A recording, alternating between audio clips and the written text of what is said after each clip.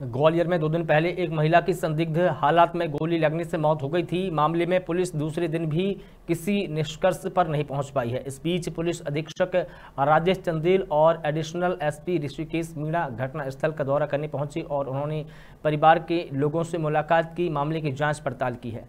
Police ने महिला के माय के पक्ष के लोगों की मौजूदगी में ये पूरी कार्रवाई की है। साथ ही उनके बयान भी दर्ज किए हैं। पता चला है कि जिस रिवॉल्वर से गोली से महिला की मौत हुई है। वो उसके जेठ शैलेंद्र सिंह चौहान के नाम पर पंजीकृत है। हैरानी की बात तो यह है कि मृतका के पति और जेठ ने इस रिवॉल्वर को पड़ोसी के घर में छुपा छुपा रखा था।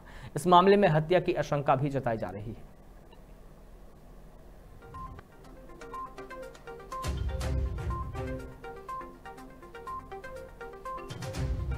घटना हुई थी गोली के मंदिर में, उसमें एक परिवार में एक महिला जो है, जो पैंतीस साल की है, उनके पेट में गोली लगी थी और उनके परिजन पहले बिरला हॉस्पिटल और फिर जेस ले गए थे।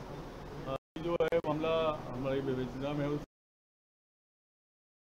से जैसा भी चीज़ें एविडेंस आती है पोस्टमार्टम आज हुआ है, और अभी उनके फ्यूनरल की कार्रवाइयाँ चल रही हैं, उनके परिजन भी आ गए हैं, ताकि उनके सामने ही सारी कार्रवाइयाँ हो रही हैं।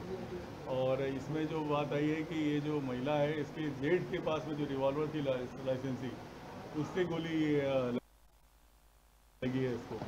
तो उससे हम दिखवा रहे हैं कि इसमें वास्तव में क्या हुआ है, जो हमारे रिपोर्ट से हम निष्कर्ष पहुँच के फिर कार्रवाई करें